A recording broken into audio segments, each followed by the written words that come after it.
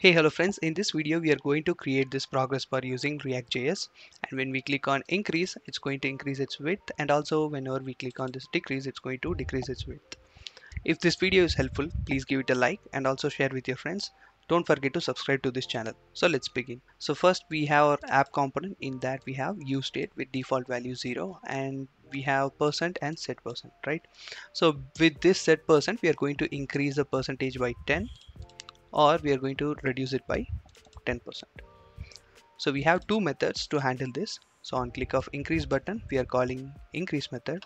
And when clicking on decrease button, we are calling decrease method. So here we have a check whenever we increment the value, if the value is going more than 100, then we are not doing anything. We are just returning from the function. Else we are going to update the value same way we are going to decrease. So if the value goes less than 0 then we are not going to do anything. Else we are going to reduce the value by 10 and also we have use effect. Using this we are just going to console the percent whenever this changes. Alright so now let's implement the progress component. So first I'll import this and use it over here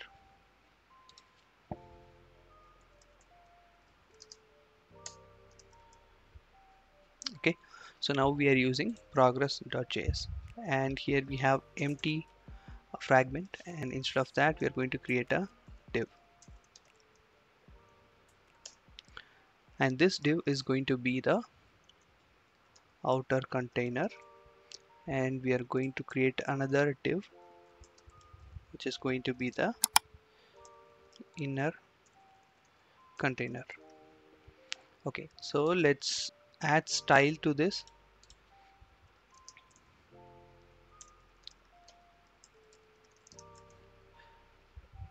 So first let's give style to the outer container. I'm going to give border. And we are seeing a line because it doesn't have any height. So I'm going to define the height which is going to be 25 pixel.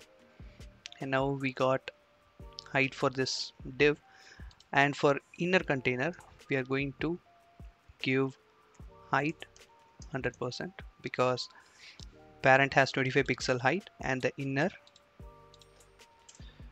will get the 25 pixel height if we give 100% and now we are going to give background color I'm going to give red and also I'm going to define width. So without giving width it is entirely occupying because it is a block level element and we can reduce the width by 50% so now it is 50% right? So what we can do is here we need to make it dynamic and also we want to display the percentage completed right? So let me just give 50% right now. Let's hard code this value. And also I will make this text align center and color white all right so now we want to make this width dynamic. Right so here we are going to add style. And here we can define a variable which is going to be width.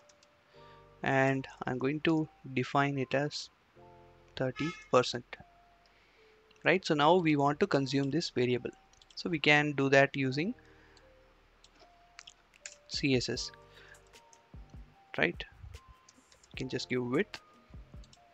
And now it is taking the 30% width.